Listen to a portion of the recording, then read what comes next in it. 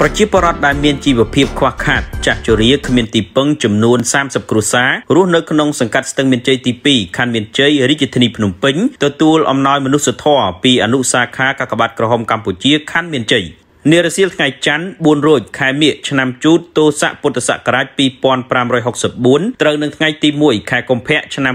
2021នេះអនុសាខាកាកបាទក្រហមកម្ពុជាខណ្ឌមានជ័យដឹកនាំដោយលោកឌីរ៉ាត់ខេមរុនប្រធានគណៈកម្មាធិការអនុសាខាកាកបាទក្រហមកម្ពុជាខណ្ឌមានជ័យបាននាំយកអំណោយមនុស្សធម៌ផ្ដល់ជូនប្រជាពលរដ្ឋដែលមានជីវភាពខ្វះខាតចាស់ជរាគ្មានទីពឹងចំនួន30គ្រួសារមកពី9ភូមិស្ថិតនៅក្នុងសង្កាត់ស្ទឹងមានជ័យទី2ខណ្ឌមានជ័យរាជធានីភ្នំពេញនាឱកាសនោះលោកឌីរ៉ាត់ខេមរុនប្រធានគណៈកម្មាធិការអនុសាខាបានពំនាំនៅការផ្ដាំផ្ញើសាកសួរសុខទុក្ខពីសំណាក់សម្ដេចកតេព្រឹទ្ធបណ្ឌិតប៊ុនរនីហ៊ុនសែនប្រធានកាកបាទក្រហមកម្ពុជាជូនដល់បងប្អូនប្រជាពលរដ្ឋទាំងអស់ប្រកបដោយសេចក្តីនឹករលឹក ទន្ទឹមនឹងនេះលោកប្រធានអនុសាខាបានលើកឡើងថាដោយមានការគិតគូរយកចិត្តទុកដាក់ខ្ពស់ចំពោះសុខទុក្ខបងប្អូនប្រជាពលរដ្ឋជាពិសេសក្នុងស្ថានភាពដែលរងផលប៉ះពាល់ដោយសារជំងឺ Covid-19 ពីសំណាក់សម្ដេចកតេព្រឹទ្ធបណ្ឌិតប៊ុនរនីហ៊ុនសែនប្រធានកាកបាទក្រហមកម្ពុជា បាននាំយកអំណោយមនុស្សធម៌មកប្រគល់ជូនដើម្បីចូលរួមជួយរំលែកនៅការលំបាកចំពោះមុខរបស់បងប្អូន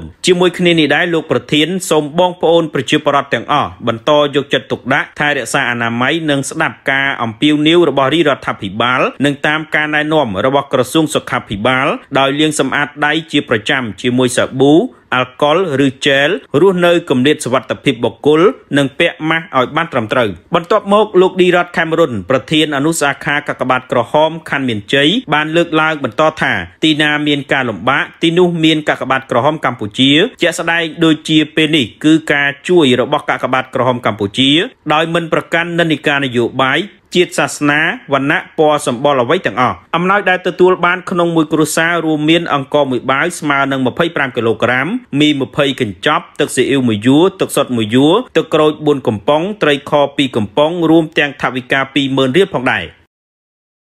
សំអាង ការរាជសីមានទទួលផាត់មកធ្វើសក់គ្រប់កម្មវិធី និងមានទទួលបង្រៀនសិស្សទំនាក់ទំនងតាមទូរស័ព្ទលេខ096 80 82 201និង070 858 683មួយជាតិការម្ដងកុំឲ្យរំលងសំអាងការរាជសី